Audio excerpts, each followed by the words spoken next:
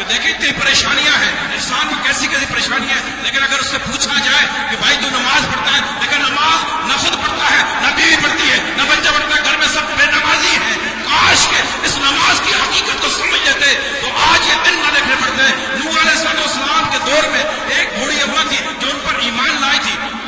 اس نے عرض کیا، اے نو علیہ السلام، جب کشتی کا عذاب آئے پوری دنیا پانی پر آ جائے، مجھے بھی اپنی کشتی میں بٹھا لیجیے گا نو علیہ السلام نے فرمایا اچھا اماں ٹھیک ہے بٹھا لوں گا جب عذاب آیا تو نور علیہ السلام بھول گئے اس اماں کو۔ خیال کرا عذاب آ کر ٹل گیا۔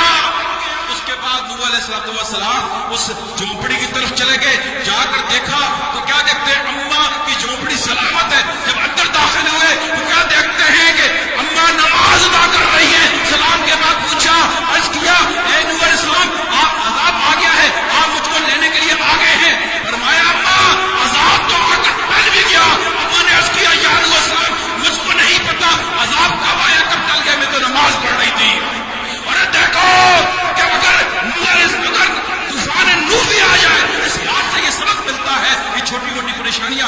میں ناچاکیاں یہ بے روزگاریاں یہ بیماریاں، یہ تو چھوٹی چھوٹی پریشانیاں ہیں۔ اگر آپ بھی اللہ کو سجدہ کریں، نماز پڑھے اس کے ساتھ نو لگائے تو معلوم چلا طوفان لو بھی آ جائے وہ بھی اس نمازی کا کچھ نہیں بگاڑ سکتا۔